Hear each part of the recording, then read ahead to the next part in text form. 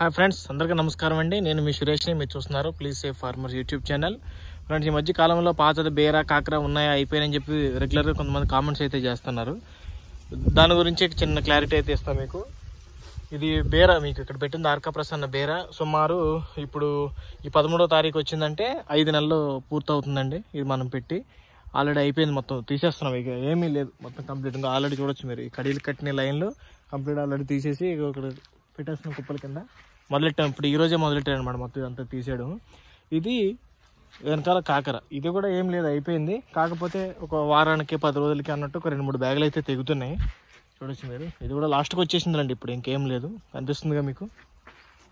రెండు ఒకేసారి పెట్టాం. మనం ఐదు నెలలు ఇప్పుడు పదమూడో తారీఖు వస్తే ఐదు నెలలు పూర్తవుతుంది అనమాట చూడొచ్చు. అక్కడక్కడ కొన్ని కాయలు అయితే మనకి కనిపిస్తున్నాయి అనమాట ఇదైతే ఉంది. ఇంకా చూద్దాం. ఇంకొక ఒక కోత రెండు కోతలు ఏమైనా ఉంటే ఉంటుందేమో. ఇదైతే అయిపోయింది. ఇంకా నిదానంగా మనం అన్ని తీసుకుంటే అప్పుడు మళ్ళీ తయారవుతుంది. దీంట్లో రెండు పంటలు అయిపోయినాయి కాబట్టి ఇక మొత్తం అన్ని క్లీన్ చేసుకోవాలి ఇక పేపర్ తీసుకోవడం.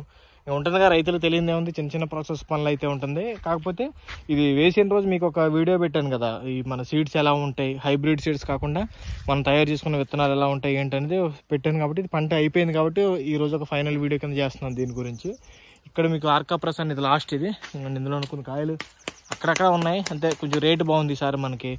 ఫిఫ్టీ వరకు కూడా రీచ్ అయ్యింది. మొత్తం అంతా ఫిఫ్టీ లెక్క పోకపోయినా కానీ ఫిఫ్టీ కూడా రీచ్ అయింది మధ్య మధ్యలో మనకి.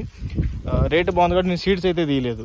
ఇది ఈ చివర ఆర్కా ప్రసన్న పెట్టాను. మొత్తం ఒక నాలుగైదు రకాల మిగతా అన్ని హైబ్రిడ్ సీడ్స్ అయితే పెట్టాను. కాకపోతే మన నాకు బాగానే అనిపించిందండి. ఎందుకంటే మైనస్ అనేది ఏమీ లేదు. కొంచెం దిగుబడి రూపంలో వెదర్ కండిషన్లు ఎలా ఉన్నాయో చూసారు కదా చాలా మంది రైతులు అయితే చాలా ఇబ్బందులు అయితే పడ్డారు ఈ వర్షాల వల్ల దానివల్ల అంత ఒత్తిడిలో కూడా మనకి పర్వాలేదు. మినిమం క్రాప్ అయితే వచ్చింది. సూపర్గా వచ్చింది గ్రేట్గా వచ్చింది అని చెప్పకుండా యావరేజ్ అయితే వచ్చింది పర్వాలేదు.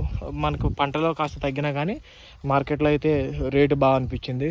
దానివల్ల మనం ఓకే హ్యాపీ మనం ఎప్పుడన్నా కూడా హైబ్రిడ్ సీడ్స్లోంచి కూడా ఎవరన్నా వేయాలి అంటే కొద్ది కొద్దిగా వేసుకోవాలి అనుకుంటే కూడా వేసుకోవచ్చు. ప్రాబ్లం అయితే ఏమీ లేదనమాట ఈరోజు మొత్తం బేరే తీసేస్తున్నాం.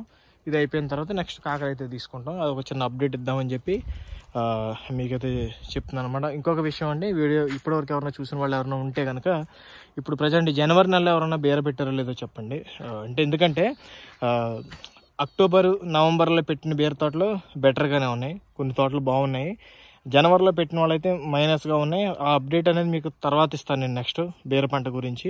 ఇప్పుడు మీరు ఎవరైనా జనవరిలో పంట పెట్టి బాగున్నాయి మంచి సంక్రాంతి సీజన్లో పెట్టిన వాళ్ళు తోటలైనా మంచిగా ఉన్నాయి బాగున్నాయి ఎటువంటి ప్రాబ్లం లేదనుకున్న వాళ్ళు ఎవరైనా ఉంటే కామెంట్లో అయితే తెలుపుకోండి ఫ్రెండ్స్ ఉంటాను నేను అందరికీ. నమస్తే.